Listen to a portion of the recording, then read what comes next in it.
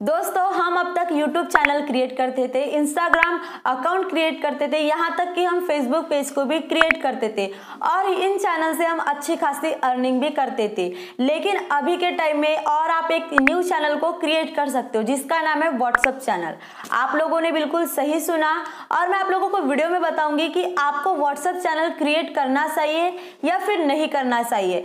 अगर आप WhatsApp channel create करते हो तो आपको क्या बेनिफिट्स है? यानी कि आप उस चैनल चैनल से क्या अर्निंग कर सकते हो?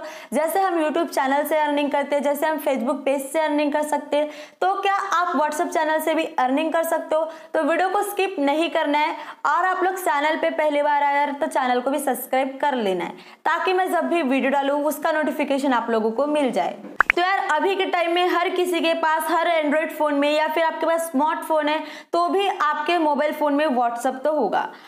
आप अगर बिज़नेस व्हाट्सअप क्रिएट किया होगा, ऐसे बहुत सारे व्हाट्सअप के भी एप्लीकेशन है जो अलग अलग आती है। लेकिन एक प्ले स्टोर में हमें सिंपल व्हाट्सअप और एक बिज़नेस व्हाट्सअप मिलता है, जिसे हम डाउनलोड करके व्हाट्सअप आराम से चला सकते लेकिन आपको ये फीचर सिर्फ़ व्हाट्सअप में ही मिलेगा।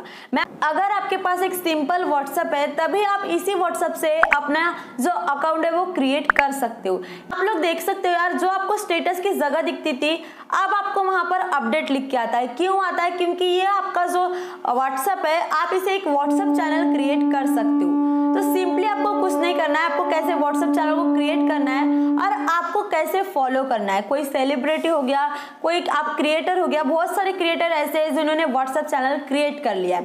अब हम देखेंगे कि बेनिफिट्स क्या है व्हाट्सएप चैनल क्रिएट करने का।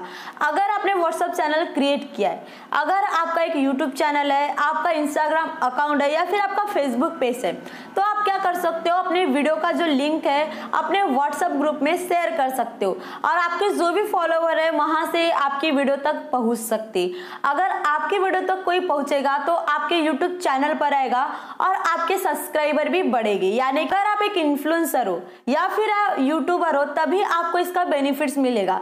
अदरवाइज़ आपको व्हाट्सएप चैनल क्रिएट नहीं करना अगर आप व्हाट्सएप चैनल क्रिएट भी कर लेते हो तो उससे आपको कोई बेनिफिट्स नहीं मिलने वाला है। यहाँ तो यार व्हाट्सअप चैनल क्रिएट करना है तो आप लोग कैसे कर सकते हो? सबसे पहले जो भी आपका प्रोफेशनल अकाउंट होना चाहिए, तभी आप एक व्हाट्सअप चैनल क्रिएट कर सकते हो और आप वहाँ से फॉलोअर्स भी गेन कर सकते हो। तो इसी तरीके से व्हाट्सअप चैनल क्रिएट किया जाता है।